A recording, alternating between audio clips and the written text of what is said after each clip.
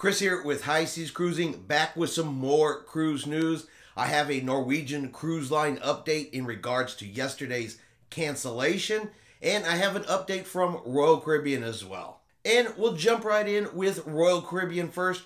Royal Caribbean simply has extended their masking policy.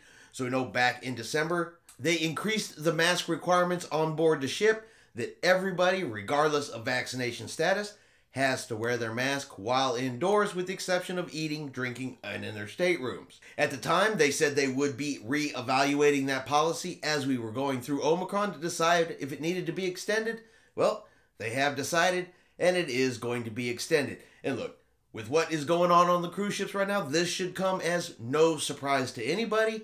And I fully expect all of the other cruise lines, when their health and safety protocols come up to be re-evaluated, they're going to extend them out. At least for now, they're all going to extend. So no surprise there, no shock out of the Royal Caribbean announcement, but it is something to be aware of if you do have an upcoming Royal Caribbean cruise. Just know the mask policy, it has been extended for now until January 31st of 2022. All right, so we did a video yesterday talking about the cancellation on board the Norwegian Getaway for what they were calling COVID related issues, not really specifying what was going on, not really specifying exactly what was happening, kind of theorized that it was that it was coming from a positive tests amongst the crew. And well, now we have a no, another Norwegian cruise that has been canceled. Now, this one is the Norwegian Pearl, and she actually already sailed. She sailed back on January the 3rd she was doing a 11 day Panama Canal cruise. Two days now into the cruise, they have canceled the remainder of the cruise. The ship is heading back to Miami and everybody's going to be disembarked. And they are saying this is related to positive COVID cases amongst the crew. Now, they did not specify in a number. We don't know how many positive cases they are. But we've had positive cases on pretty much every single cruise ship out there, whether it's passengers or whether it's crew. And normally, if it is 1% or less, it's not something that the CDC is going to require the ship to come back or the cruise lines have been coming back to port over. But Norwegian has decided that that apparently there is enough COVID cases on the Norwegian Pearl that it's time for her to come back to port. And they're just going to go ahead and cancel the remainder of this cruise the next cruise coming up on the Norwegian Pearl. They have not canceled that yet. But honestly, at this moment, depending on exactly what's going on on that ship, I'd say it's probably a little bit suspect at this point in time. If you're booked on the next Norwegian Pearl cruise, kind of be prepared. And look, this is not this is not the road we wanted to travel down. This is not what we wanted to start see happening was cruise ships canceling cruises due to COVID 19. But I guess you can look at this in two different ways.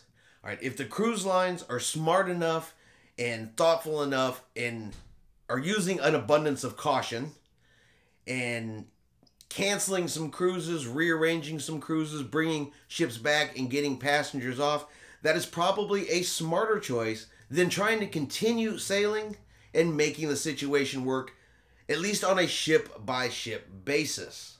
Okay, I do not want to see cruising shut down. I'm hoping cruising doesn't shut down. I don't believe cruising will shut down, but any cruise ships canceling right now over COVID, it's just not a good sign. It's not a good start to the year. And again, I feel for the passengers on the Norwegian Pearl. I feel for the passengers on the Norwegian Getaway because it sucks. And like I said in yesterday's video, there is just no other word. Now, we also do have a cruise cancellation for Royal Caribbean's Spectrum of the Seas.